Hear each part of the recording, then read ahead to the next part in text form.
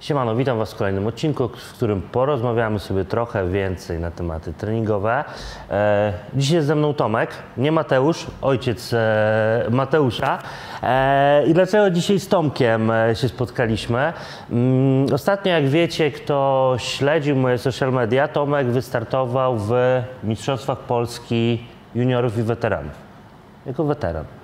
E, Był to Tomka debiut. e, Czwarte miejsce, bardzo dobre miejsce jak na debiutanta. Trzeba przypomnieć, że był jedynym debiutantem na tych zawodach w e, praktycznie najstarszej kategorii weteranów. Co zadecydowało? Trochę stresu, nie? Oj, dużo stresu. Dużo stresu, ale bycia. mało bycia, ale tak naprawdę startował z zawodnikami, którzy mają już po niektórzy ponad 20 lat startów za sobą, e, więc taki pierwszy start w sumie taki spontaniczny. Ile przygotowań mieliśmy? 16 tygodni? 12? Nie wiem, chyba około 10? No, no Jakoś 10 tak, no nie było dużo czasu, e, bo tak naprawdę była to spontaniczna decyzja, w sumie półtora roku za Tomkiem chodziłem, żeby wystartował. E, już mi się w pewnym momencie wydawało, że to zrobiłeś na zasadzie, żebym się od ciebie odpierdolił. E, ale szkoda było nie spróbować, tak? Mm, fajnie udało nam się zrobić formę, chociaż to jest forma tego człowieka, którą trzyma na co dzień praktycznie, więc tutaj nie było dużo roboty. E, Było parę braków, no i tutaj, tak jak mówiłem, zadecydowało trochę ta pewność siebie, no i braki w nogach niestety. Góra była pięknie tak naprawdę zrobiona i proporcjonalnie i było to fajnie wymodelowane. Trochę zabrakło nóg, szczególnie tej przedniej i lekko tylnej taśmy nóg, bo pośladki też wyglądały bardzo dobrze. A że tak naprawdę był fajny odzew, mocno się zainteresowaliście tym tematem, e, jak wrzuciłem informacje m, e, z tym, jak wyglądał cały start. E, No w sumie nie ma co się dziwić, tak? Tomek ma 52 lata, 52. 3 razy 18. No, I tak naprawdę, biorąc pod uwagę, jak wyglądają ludzie w tym wieku w Polsce, no to, no to nie mieścisz się w kryteriach. No zdecydowanie nie. no nie chcę, Trochę- brzuch wyprzedzał. Trochę, trochę wyprzedzasz te kryteria, takie typowe dla 52-letniego obywatela Europy. No więc, e, więc było spore zainteresowanie i tak postanowiliśmy, że nagramy coś więcej na ten temat. No, że wiecie, nie lubię gadać o byle czym, więc porozmawiamy sobie o treningu. A że są plany, żeby jeszcze dalej popróbować postartować, tylko tym razem mądrzej przejść przez cały okres budowy masy. W sumie u Ciebie takiego, jako takiego okresu budowy masy chyba nie było, nie? Nie było. Tak zawsze była po prostu czysta rekreacja. Tak. Przychodzę, potrenuję, robię swoje, wychodzę. E, więc e, w tym momencie zrobimy to, zrobimy to z głową, zrobimy to mądrze. Nadbudujemy troszkę tej masy mięśniowej tam, gdzie brakowało. Czyli skupimy się na tej dolnej kończynie. No i wracamy za rok, bo tak naprawdę w Polsce nie ma zbyt dużo zawodów, gdzie e, weterani 50 plus mogą sobie śmiało postartować w swoim gronie. No trzeba zwrócić uwagę, że o ile weterani po 40 spokojnie mogą rywalizować z seniorami, e, bo te różnice są e, na tyle niewielkie, a wręcz nawet weterani w wieku po 40 latach mają bardzo fajne jeszcze nadal możliwość utrzymania tej gęstości mięśnia, tej jakości i te sylwetki spokojnie mogą rywalizować. No tyle po 50 już no, widać te troszeczkę różnice i w skórze, i w tej gęstości tego mięśnia, więc to jest trochę ciężej em, nadrobić te różnice, dlatego spokojnie sobie wystartujemy za rok z dużo poprawioną sylwetką. No formie tu nie będę mówił, bo ona i tak będzie dobra, tego jesteśmy pewni. Więc em, dzisiaj pokażemy Wam, e, z tego zainteresowania, jak będziemy to planować, e, jak będzie wyglądało te całe planowanie poprawy sylwetki, na czym się skupimy, jak do tego podejdziemy, m, żeby miało to ręce i nogi. Dobra, więc tak jak mówiłem, zaczniemy sobie od, e, mm, od poprawy nóg, tak? bo tak naprawdę tu były największe braki. Troszkę tam będziemy skupiać się też na grzbiecie, em, bo tak naprawdę góra tutaj i tak dość mocno jest, nazwijmy to z przodu, jeśli chodzi o, o tą nadbudowę, o tą ilość masy mięśniowej, więc skupimy się na dole. Tak? E, Na początku sobie rozrysujemy dwie rzeczy, e, jak będziemy ten, to w ogóle rozpatrywać i jak e, do tego tematu podejdziemy. Rozrysujemy parę rzeczy. Em, I chciałem Wam właśnie w kontekście takiego ogólnego planowania pokazać, na czym, e, na co zwrócimy właśnie tą uwagę. E, Tak bardzo schematycznie sobie pokażemy. Tak, to jest Tomek. Stosujemy, żeby broda była. Tu mamy Tomka i tak, wiemy, że ta góra nie odstaje nam jakoś specjalnie. Skupimy się na segmentach dolnych, tak, czyli całej tej dolnej części ciała. No i tutaj tak, mamy oczywiście, podzielimy sobie to na takie trzy stawy, tak. Mamy staw biodrowy, Mamy tutaj stawy skokowe, mamy staw kolanowy. I na tych trzech tak naprawdę segmentach stawowych będziemy rozpatrywać całą, całą koncepcję rozbudowy pracy mięśniowej, żeby miało to ręce i nogi, tak?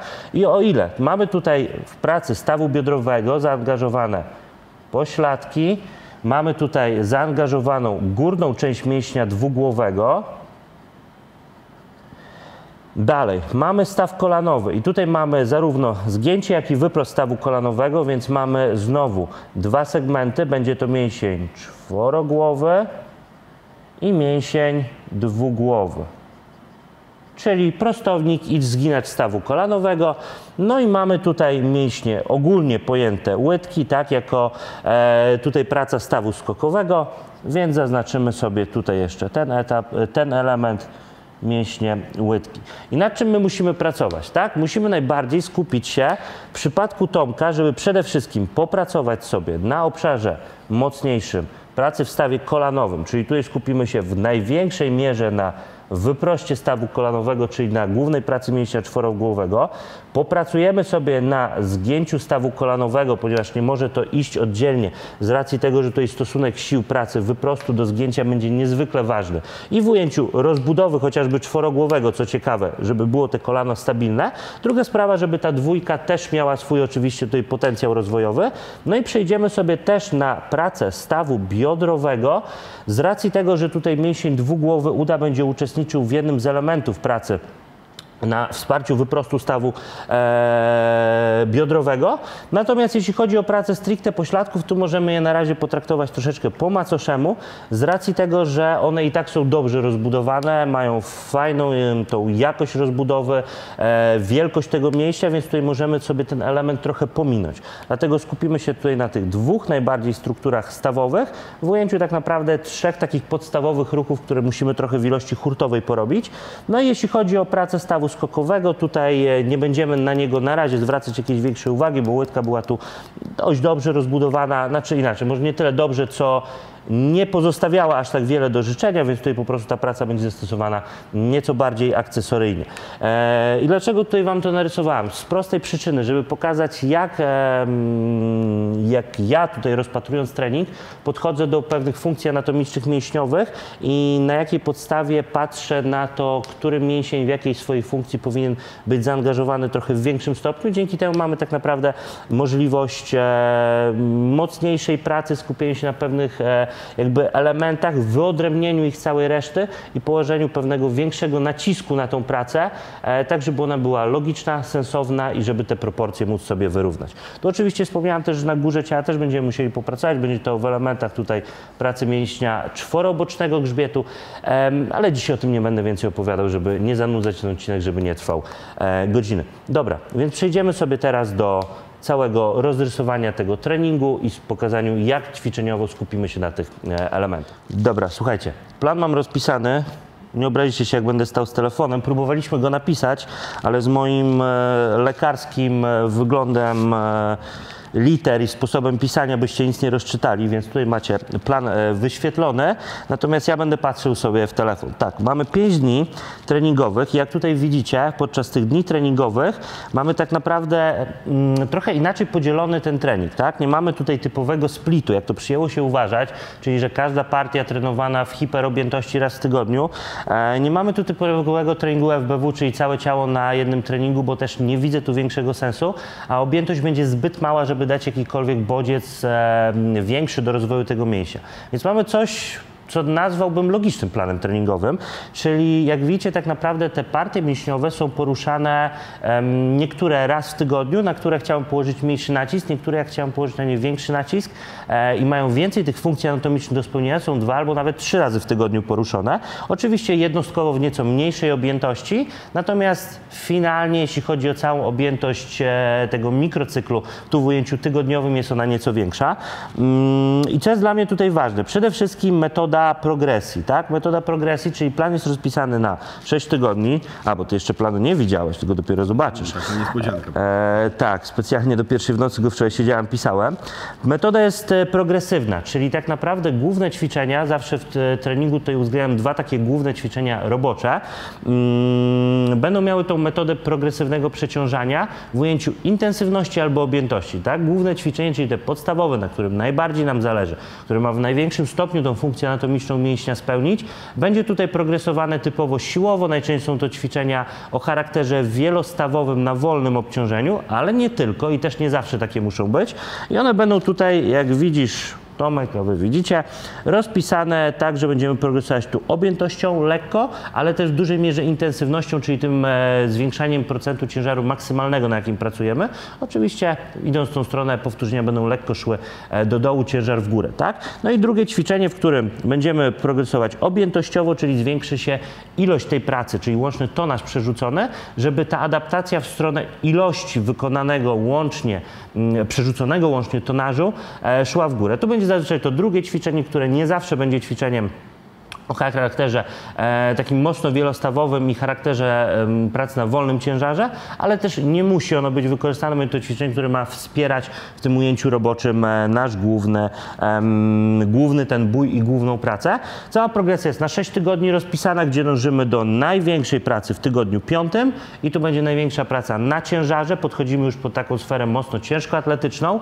Nie schodzimy do powtórzeń na raz, bo tutaj nie mamy pracy typowej e, pod powerlifting, ale raczej ta kulturystyczna, więc zawsze musimy tutaj brać pod uwagę, żeby, że nie musimy do tego jednego powtórzenia maksymalnego schodzić. Tu akurat mamy pracę do około trzech, może czasem trafi się dwa powtórzenia, czyli takim lekkim jakby zapasem maks do tych 92-95% ciężaru maksymalnego.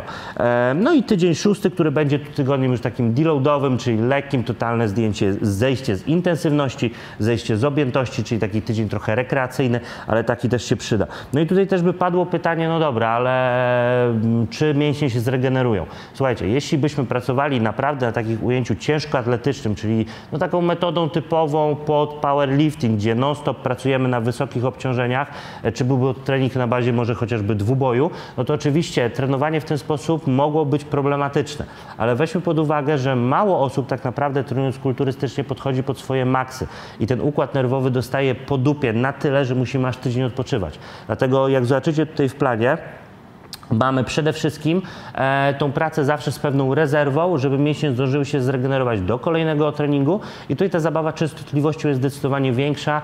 Em, powiedziałbym, że osobiście uważam, ale to nie ja uważam, a fizjologia tak uważa, że spokojnie te mięśnie są w stanie się zregenerować te parę dni i spokojnie podejść do kolejnej pracy, przez co mamy ten nacisk bodźca zdecydowanie w ujęciu mikrocyklu większy, przez to efekty też będą zdecydowanie większe. Tego akurat jestem pewien. E, My skupimy się na treningu dzisiaj e, drugim. Mimo, że w treningu pierwszym mamy tu mocną pracę grzbietu, na którym też się skupimy. Będzie tu całościowa praca grzbietu, praca e, barków w swoich funkcjach aktonów bocznego i tylnego, tak. Mamy też pracę dwugłowych i tutaj co ciekawe, jak zobaczycie, dwugłowe są dość często poruszane w dość dużej objętości. I teraz dlaczego? Ponieważ te mięśnie nie mają nigdy nacisku bardzo mocnego siłowego, jak zobaczycie Tutaj w tym planie nie schodzimy poniżej 10-8 powtórzeń, bo nie ma w ujęciu pracy siłowej zgięcia kolana aż takiej potrzeby. Ten mięsień nie wykonuje nigdy aż takiej pracy, więc tutaj warto zachować tą właśnie rezerwę w ujęciu powtórzeń, dzięki czemu możemy je trenować nieco częściej, bo one nigdy nie są, można powiedzieć, krytycznie zmęczone pod kątem pracy wszystkich jednostek motorycznych. E, Będą tutaj priorytetowo potraktowane czworogłowe, mamy je na treningu drugim i mamy je na treningu piątym, trochę w innych ćwiczeniach. I teraz e, zobaczcie, że tak naprawdę, co ciekawe, tutaj czworogłowe nas interesują. Są to ćwiczenia, które opierają się głównie na pracy wyprostu stawu kolanowego. Dlaczego?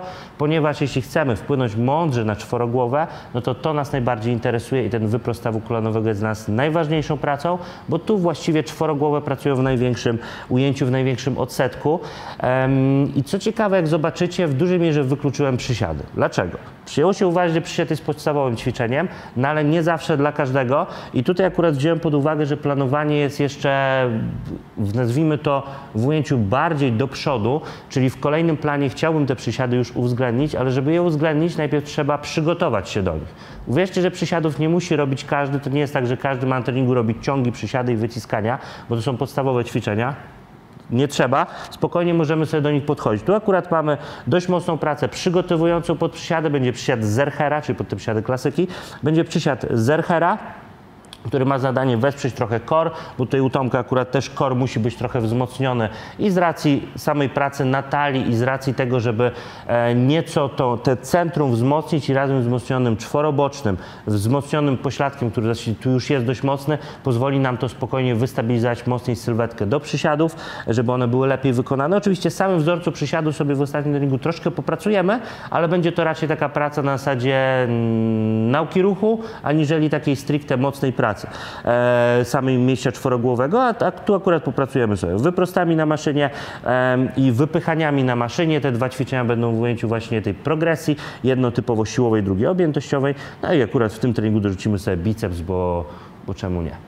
Parę serii na biceps zawsze tutaj się przyda, a jest to tak mała partia, że tutaj spokojnie można sobie z nogami e, połączyć. To akurat mamy 6 serii roboczych i też na niezbyt dużym ciężarze maksymalnym, procencie ciężaru maksymalnego, więc to będzie akurat tak się fajnie zgrywało. E, W treningu trzecim tu klatka trochę po macoszemu potraktowana, ale jak zobaczycie zdjęcia Tomka z sceny, ta klatka jest tutaj mocno dominująca, więc w tym momencie są em, struktury bardziej priorytetowe, więc na klatce się nie skupimy. No i oczywiście znowu bok przód barku, tutaj one są dość mocno rozdzielone znowu na cały tydzień, ale w małych em, objętościach e, jednostkowych, e, bo mamy tu dość dużo funkcji do spełnienia, trzy aktony, jakbyśmy chcieli podzielić to i 13 części funkcjonalnych, nie będziemy w to się dzisiaj zagłębiać, więc te barki po prostu warto sobie gdzieś tam troszkę inaczej porozdzielać niż przyjęło się uważać, ale jest to dość specyficzny mięsień, zresztą na filmikach opowiadałem o nim, możecie się cofnąć.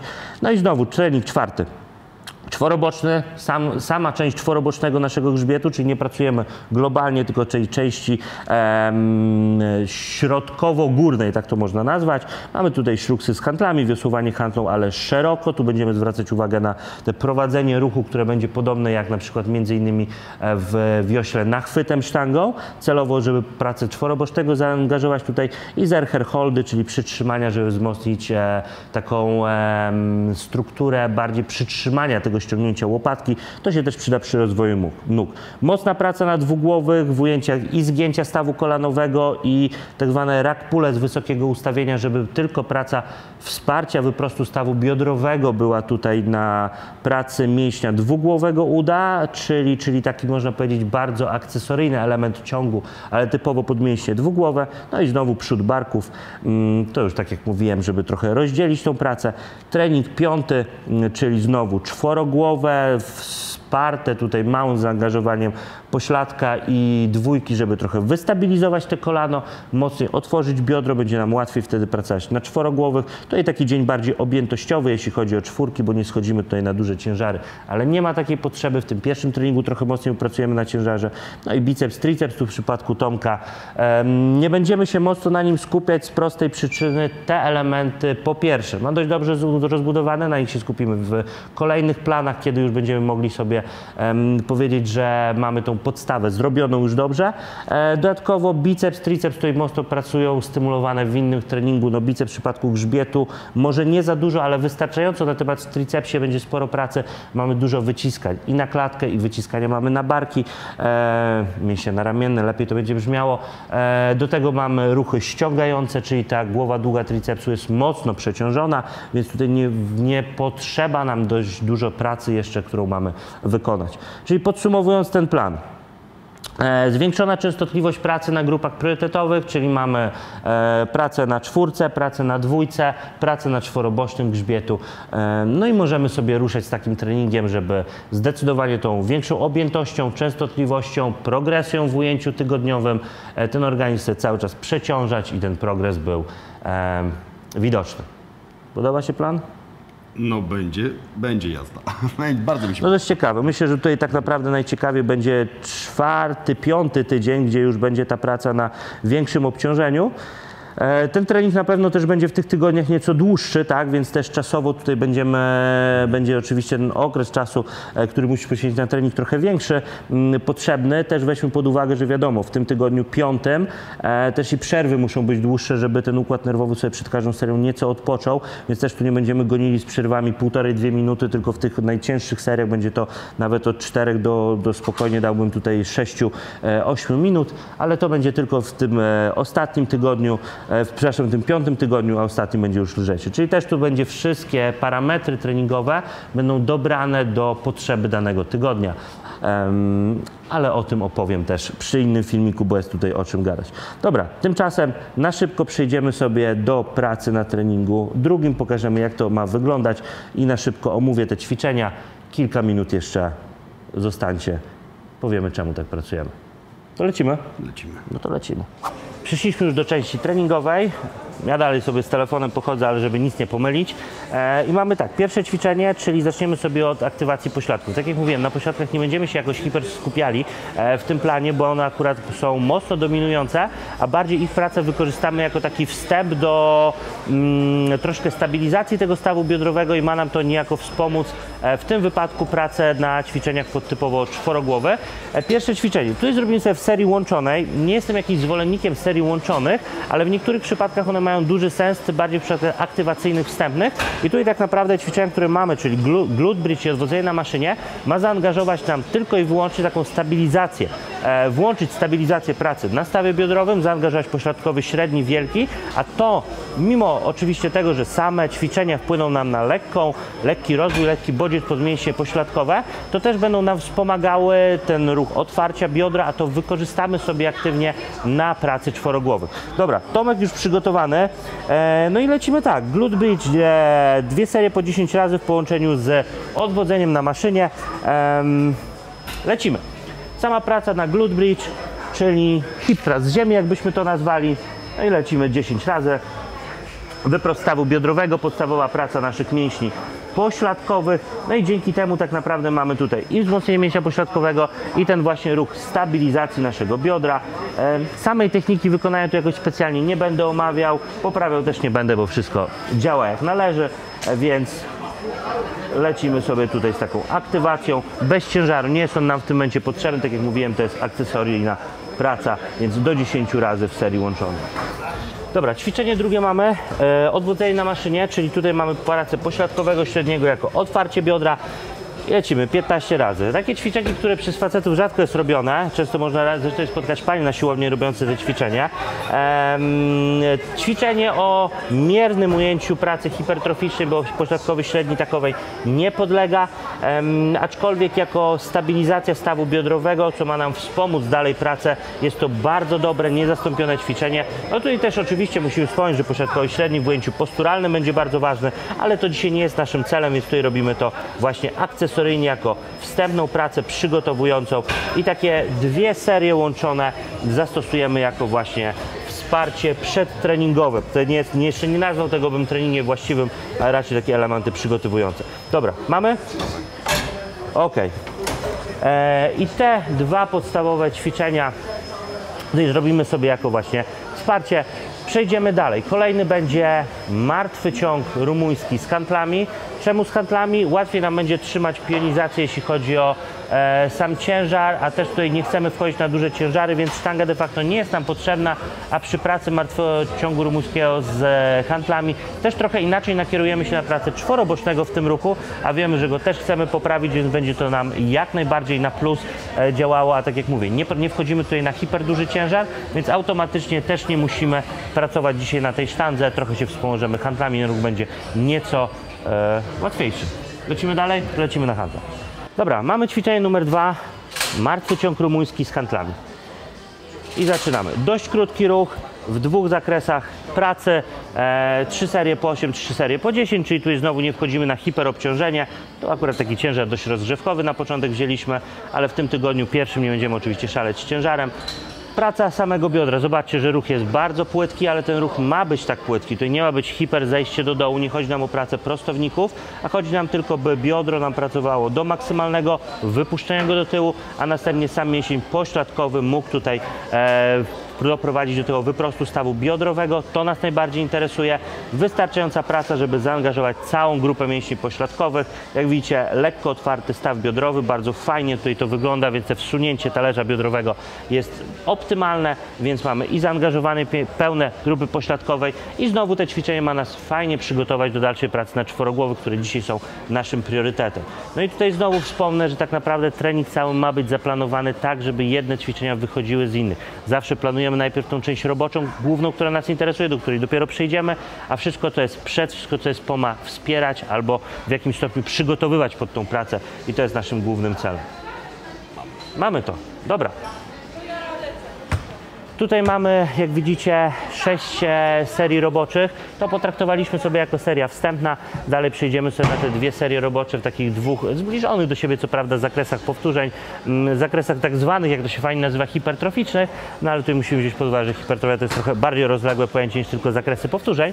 Mm, Aczkolwiek, e, tak jak mówiłem, pośladki traktujemy troszkę po macoszemu w tym planie, ale nie one są celem, one mają tutaj być tylko lekko pobudzone do pracy, lekko wspierające dalszą pracę przy rozwoju chociażby czwórek i dwójek, więc e, tutaj je tylko ruszymy w podstawowych funkcjach. Te funkcje tak naprawdę wykonaliśmy. Mieliśmy wyprost stawu biodrowego, mieliśmy otwarcie stawu biodrowego, mieliśmy tą rotację kości udowej na zewnątrz. W tym momencie nam to musi wystarczyć. W kolejnym planie będziemy sobie mogli te pośladki trochę bardziej e, przeładować. Em, Dobra, my przechodzimy dalej, robimy kolejne serie i widzimy się zaraz przy kolejnym ćwiczeniu już stricte podmieście czworogłowe.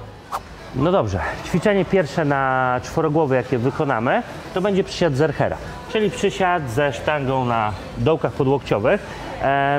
Padło pewnie by pytanie teraz, dlaczego nie przysiad klasyczny? Mm, po pierwsze, nie jesteśmy jeszcze przygotowani do tego przysiadu klasycznego, no tutaj Tomek trochę po macoszemu nogi traktował ostatnimi czasy, e, więc e, nie uważam, że powinniśmy od razu w ten klasyczny przysiad schodzić, a przygotujemy się do niego. Elementami przygotowania będzie przede wszystkim cała oczywiście praca otoczki tego planu, który mamy, ale z takich stricte elementów, na które musimy zwrócić uwagę, to jest tak, wzmocnienie core, żeby ten przysiad był dużo bardziej stabilny i wzmocnienie czworogłowych. Wzmocnienie czworogłowych robimy i będziemy realizowali cały czas przez wysoką objętość i wysoką częstotliwość pracy na tych czworogłowych, natomiast przy przysiadzie Zerchera wpłyniemy na wzmocnienie tego koru do pracy właściwej. Dodatkowo będziemy pracowali we wzorcu przysiadu, czyli realizujemy wzorzec to jest raz, dwa, wzmacniamy elementy newralgiczne pod tą pracę, e, czyli e, po prostu wykonamy tutaj wzmocnienie tej stabilizacji centralnej. O, jest i nadzór, który przyszedł. Syn czuwa nad ojcem. A ty masz w diecie ten baton?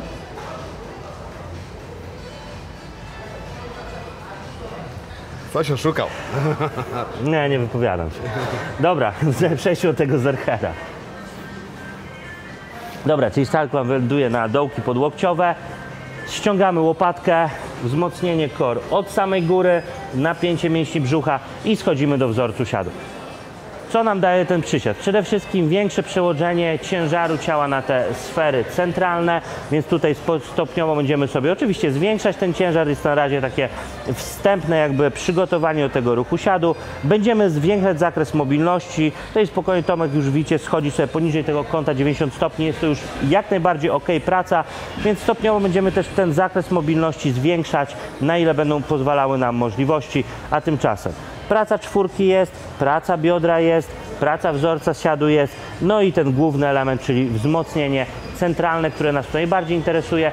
Jak już to wykonamy, będziemy mieli odpowiednio przygotowaną i mobilność do klasycznego siadu i odpowiednie wsparcie tej ramy centralnej, to zejdziemy sobie do siadów klasycznych, które będziemy mogli wtedy zwiększać sobie pod kątem obciążenia, a dzięki temu będzie po prostu większy bodziec rozwojowy. Czyli taka klasyczna metoda rozwoju. Najpierw przygotowanie, później odpowiednia już praca objętościowa. Dobra, zrób jeszcze, zrób jeszcze ze dwa i przejdziemy do serii właściwych. Jak widzicie tutaj na zercherze nie pracujemy na dużym ciężarze, bo nie jest to konieczne. To jest ćwiczenie, które jest wariacją, jest akcesoryjnym wsparciem. Dobra, i przechodzimy sobie zaraz do części właściwej eee, i do kolejnych ćwiczeń, czyli kolejnego ćwiczenia, które będzie już ćwiczeniem roboczym. Przejdziemy sobie na maszynę. A dlaczego na maszynę? No to, to zaraz sobie już wyjaśnimy. Idziemy dalej.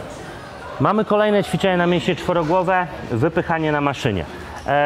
Wypychanie w klasycznym ustawieniu, czyli rozstaw, szerokość mniej więcej stawu biodrowego, czyli takie najbardziej optymalne ustawienie. I tak, co ważne, kręgosłup w pełni tutaj przylega nam do mm, linia kręgosłupa do ławki. Maksymalnie na ile jesteśmy w stanie wykonujemy zgięcie stawu biodrowego. Całość pracy wychodzi nam z wyprostu stawu kolanowego. E, Stopy neutralne lub lekko zrotowane ustawienie to akurat w tym momencie ma znaczenie bardziej może stabilizacyjne aniżeli rozwojowe, bo tak czy inaczej praca w ujęciu stawu kolanowego zawsze jest taka sama. Te ćwiczenie potraktowałem co ciekawe jako ćwiczenie robocze, czyli ćwiczenie, w którym będziemy progresować siłowo i dochodzić tutaj do tych największych obciążeń. Nie jest to problemem w tym ćwiczeniu, bo to ćwiczenie jest jak najbardziej stabilne, ćwiczenie rozwojowe, wielostawowe. Praca jest oczywiście tutaj w dwóch, trzech nawet bym powiedział stawach, jeśli chodzi o ruch wyciskania, więc w tym ćwiczeniu będziemy sobie progresować siłowo. I teraz znowu, może paść pytanie, czemu nie siady? Tak jak mówiłem, nie każdy musi robić siady, nie każdy ma odpowiednie przygotowanie pod wykonanie siadu, więc tutaj spokojnie możemy wykorzystać do tego maszyny. Oczywiście tutaj taka prawilna część e, osób oglądających może powiedzieć, że no ale siady muszą być. Nie, uwierzcie, że nie muszą. Dla naszego ciała, dla naszego rozwoju mięśni nie liczy się to, jakie my wykonujemy ćwiczenie, liczy się to, jaką my wykonujemy funkcję anatomiczną i czy opór jest ten sam. Zobaczcie, że tutaj praca, jeśli chodzi o staw biodrowy i staw kolanowy, jest niesamowicie zbliżona do ruchu siadu. Oczywiście my tutaj nie wstajemy z ciężarem, a wykonujemy wypchnięcie tego ciężaru. Już? Zrobiłeś czy nie? Zrobiłem. Bo tak robisz i robisz. Ja już zrobiłem, tak. Wstępne, wstępna seria, więc trochę więcej potraktowaliśmy, ale też ciężar nie jest duży. Jak zauważyliście, praca wychodzi z wyprostu stawu kolanowego. I teraz pytanie, czy jest ważne, czy my ten wyprost stawu kolanowe, kolanowego wykonamy w przysiadzie, czy wykonamy w, mm, w wypchaniu maszyny? Nieco oczywiście przełożenie siły jest tu inne, ale nadal opór na ten segment ciała jest taki sam i nadal jest to ten ruch wyprostu. Oczywiście nieco inaczej będzie dźwignia rozłożona na przykład w kolejnym ćwiczeniu, które zrobimy, czyli w wyprostach, aniżeli w tym ćwiczeniu, czyli w wypychaniu, aczkolwiek nadal pracujemy jako ruch wyprostu stawu kolanowego. Em, oczywiście tutaj też musimy inaczej rozłożyć tą pracę, jeśli chodzi o em, chociażby dźwignia, które, dźwignię, którą będzie wykonana tutaj, więc też nie wszystkie ćwiczenia dlatego mogą być stricte ćwiczeniami siłowymi, a niektóre możemy robić z, mniejszym ciężarem, ale bardziej objętościowo i tu już pewne już warunki muszą być spełnione, ale pamiętajcie, że zawsze możemy znaleźć ćwiczenia, które będą dla nas w pewnym stopniu mm, wygodniejsze do wykonania, łatwiejsze, a liczy się dla nas też, żeby ta technika była dla nas na tyle optymalna, żeby ruch był przede wszystkim bezpieczny. I tutaj też weźmy pod uwagę, że jeśli mamy do zrobienia bardzo dużą objętość treningową, a tu dążymy do tego, że w tygodniach tych głównych roboczych, e, tak jak widziałeś, czwarty, piąty, ta objętość będzie dość duża, więc też gdybyśmy robili tutaj tylko ćwiczenia z wolnym ciężarem wielostawowe, ok, staw kolanowy zapracuje, staw biodrowy zapracuje. Pytanie, czy nasze centrum wytrzyma tyle tych e, ćwiczeń na wolnym obciążeniu.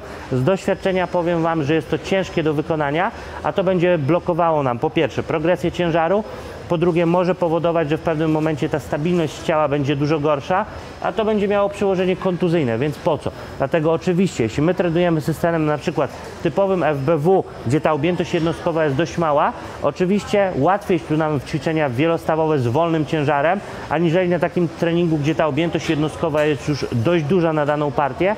Po prostu wynika to z całej jakby segmentu pracy globalnej naszego ciała, a nie tylko skupienie się na tym jakby fragmencie mm, interesującym nas. O tym musimy pamiętać właśnie tworząc plany i dlatego tutaj na to też tak mocno zwracam uwagę. Oczywiście, żeby nie było, nie neguję ćwiczeń podstawowych, ale zawsze musimy rozsądnie rozpatrywać je w ujęciu i w kontekście pracy. Dalej mamy wyprosty. No idziemy do wyprostów. Mamy ostatnie dzisiaj już ćwiczenie na czwórki, trzecie ćwiczenie wyprost na maszynie. No i oczywiście tutaj mogą się odezwać znowu głosy, że jest to ćwiczenie kontuzyjne, ćwiczenie problematyczne, ćwiczenie, którego się nie powinno robić. Ale nie ma za tym jakichś konkretnych argumentów. I teraz tak, pierwsze pytanie. Tomek, kolano ok? Wszystko jest. Problemów z kolanami nie ma, więc pytanie, czy nacisk na staw kolanowy, jeśli nie mamy żadnych problemów patologicznych, ani w stawie kolanowym, przy kurczach mięśni, czy jakichkolwiek innych, które niwelowałyby możliwość wykonania tego większego nacisku i dźwig na staw kolanowy, jeśli tego nie ma, no to w czym problem? To jest pierwsza rzecz. Druga kwestia, nikt nie mówi nam, że wyprosty robimy typowo pod kątem siłowym, czyli maksymalny ciężar na 2-3 powtórzenia. To jak zobaczycie sobie jest mocna praca objętościowa, czyli przy relatywnie odpowiednim dopasowanym ciężarze, który nie będzie schodził poniżej tych około 65% ciężaru maksymalnego, mamy odpowiednią objętość pracy, więc jednostkowy za każdym powtórzeniem nacisk na staw kolanowy przy wyproście nie będzie aż tak duży, żeby kompensacja siły była tutaj problematyczna. E, Dlaczego w wyprostach nie progresujemy tak z ciężarem? Z prostej przyczyny. Tu wyprost stawu kolanowego skupia się mocnym mocnym tak jakby segmencie, tylko i wyłącznie na tej sferze. Nie ma tutaj e, aktywacji pracy stawu biodrowego, przeniesienia ciężaru siły, więc automatycznie też dźwignia jest założona poniżej stawu kolanowego, a to niestety wymusza większą kompensację tutaj w okolicach właśnie kolana, rzepki, dlatego też progresowanie typowo siłowe na tym ćwiczeniu byłoby głupotą. Druga sprawa, nie robimy czegoś, co robi się często w kulturystyce, czyli jakieś maksymalne przytrzymania w końcowej fazie. Jest to po prostu ruch, wyprost, powrót, tak? Czyli ruch z punktu A do punktu B, skurcz mięśnia, rozciągnięcie mięśnia. Nie ma tutaj pracy jakichś tempa, które często się wrzuca, czyli na przykład ruch na 3, przytrzymanie sekunda i tak 2, 3, 4 sekundy, co oczywiście byłoby bezsensowne. Dlatego mamy tutaj prost, podstawowy ruch wyprostu jako wzmocnienie podstawowej funkcji stawu kolanowego bez kombinacji z rotacjami, które nie mają tu żadnego sensu. Zresztą o tym nagrywałem filmik, możecie sobie cofnąć.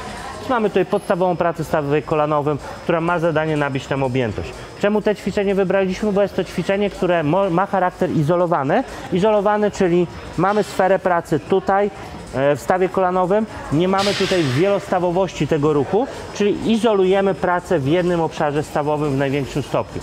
Dzięki temu możemy dobić objętości, która jest tam konieczna w pracy mięśnia czworogłowego, w jego podstawowej funkcji, czego nie bylibyśmy na przykład w stanie zrobić na wypychaniach na maszynie, na siadach, bo tutaj mamy zbyt globalną pracę i po prostu układ nerwowy nie byłby w stanie po pierwsze wykonać aż tak dużej objętości, po której się zregeneruje.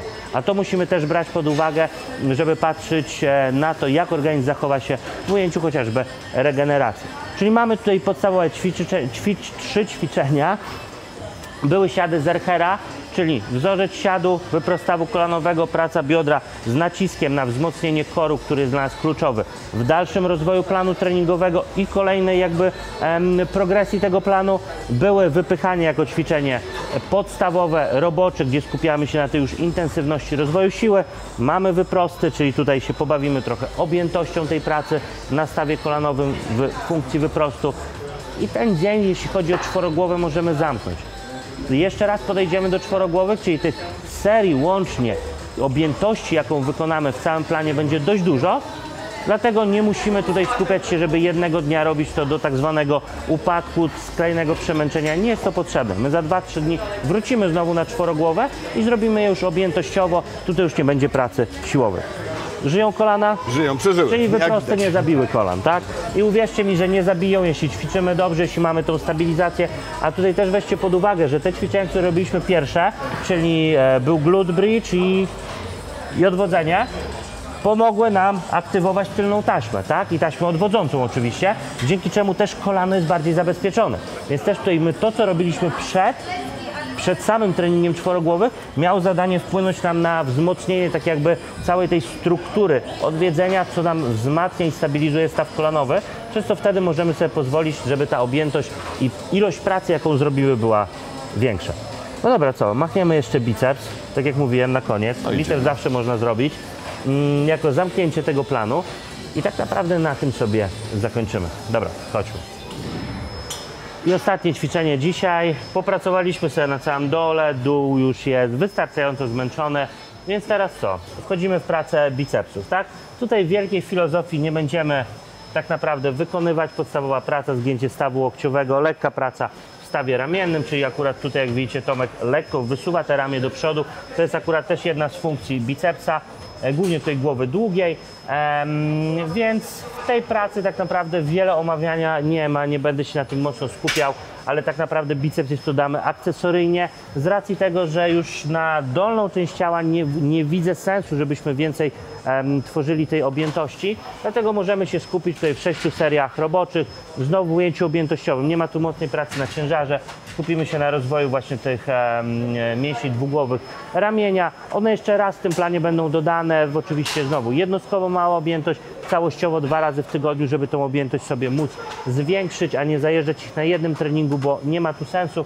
Biceps traktujemy znowu tutaj mocno akcesoryjnie w tym planie, ale tak jak widzicie, akurat u Tomka ta łapa wygląda dobrze, więc e, tak naprawdę nie widzę sensu, żeby jakoś mocno te bicepsy katować. To oczywiście one zawsze mogą być większe, lepsze, ale jak dbamy o tą symetrię, a mamy priorytety na dół położone i właśnie na czworoboczny na ten moment, to nie będziemy jakoś specjalnie na tym e, ręku się mocno skupiać.